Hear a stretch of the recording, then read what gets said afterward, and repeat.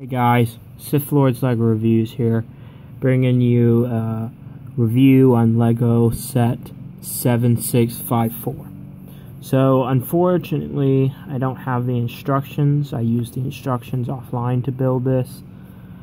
I cannot remember the piece count or the age limit, but imagine the age limit is somewhere between the ages 6 and 12 or something like that. Um, and this set includes seven minifigures, the only battle pack, first battle pack, and the only battle pack to have more than four minifigures in it ever. Well, okay, there was one other battle pack in 2009, Assassin Droid battle pack that had one more than four. That was five, but but that battle pack sucked. So this one was a much much better one. It included four battle droids and three super battle droids. Um, and they came with they came with these weapons right here. Back there. Okay. Came with these weapons right here. The old blasters. I guess this was the first battle pack they were gonna use these blasters, but then I guess for the second battle pack they decided to use the you know, the normal blasters, not the stupid stud shooters that I hate today. But yeah. So you got two of those. That one's right there. And um of the battle droids, you would get two to hold the weapons. So these two right here, they just basically would have both the weapons like this. You couldn't put them up here because they would fall over simply like that. Battle droids, like usual, they fall over easy. You have to kind of lean them back and straighten up, kind of like that.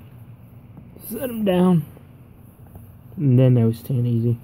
That's how you would have to hold the weapons and everything for them wasn't the best. These guns, I'm just breaking my things apart. These guns were okay for minifigures, but for battle droids, they were not the best weapons. You would pretty much have to have the battle droids on Lego stands or something for them to basically just stand up.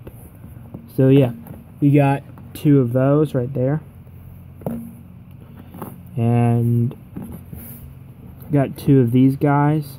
One would be using the speeder here or you know, whatever it's called.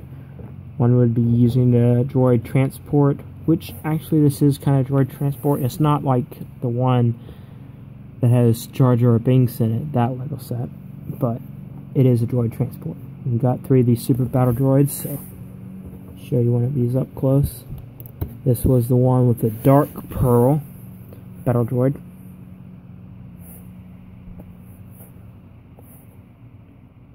Show you. Yeah, there you go. Just all completely dark pearl. And Lego has not changed these droids. Maybe, well, they have changed the super battle droid, the color. But the version and this it has not been changed. The only change they made in the battle droid is they included a straight arm right here. That was it. I wish they would make a new version of the battle droid, a new version of the super battle droid. That would be pretty awesome. So yeah, you got three of these guys right here. And we'll move on to the set itself. So this set was one of the few sets to include more than one actual little set an about pack. One of the very few. But here we have the speeder. It looks pretty good, well designed. It's got the gray guns right there. The battle droid would just basically, well, you put them up here. This. Attach them right there. One and the other arm. Both there. Hook them on. And he wanted, now this is the one default about this speeder. he didn't have any stand, but he just put him somewhere. I don't know. Just put him there, and he could still be seen just from this angle. It does. It looks like he's standing on a stand, but he's not. But you know, whatever. And um, uses a clear, two clear pieces to represent its flying. Though, if that was clear there, these two things don't look the best. Like split apart, but whatever. Got the two guns right there. And yeah, that's that's the speeder. So let's move on to the transport. So here's the transport speeder. As you can see, I already included the battle droid and the two gun pieces. Um, so it's got well, this transport had a for me. I th I think it was a good design. I think some people didn't like it, but I liked it, and uh, it's a pretty good design. As you can see, give you a 360 view real quick. So here are the guns.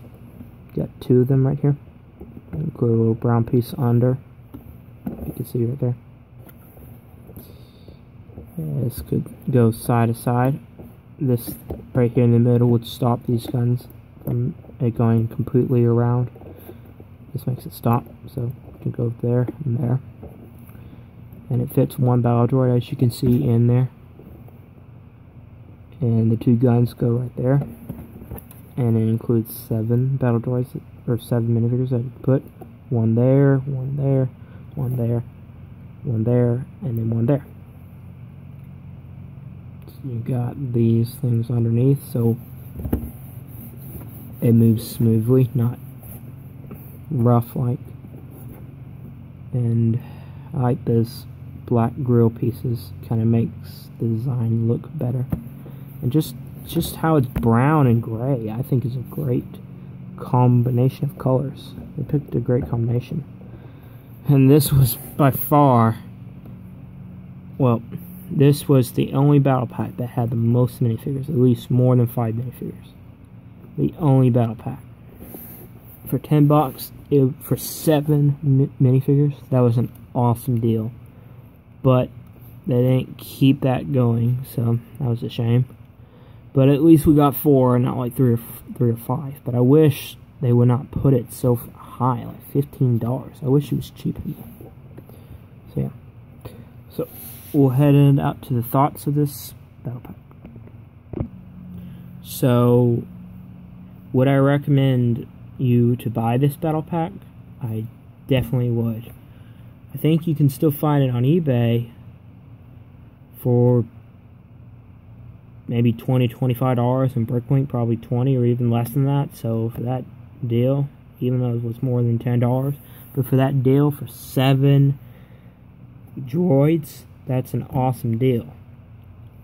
Even though these aren't the best minifigures, still a great deal and it included a great selection four battle droids, not just all battle droids, but four battle droids three super battle droids, not just like one or two, three, even better and awesome. And the design of both are great. Just that part, that clear part there, I have a problem with, and if it had a stand. But yeah, if you can find this for pretty, at least under $25, including the shipping,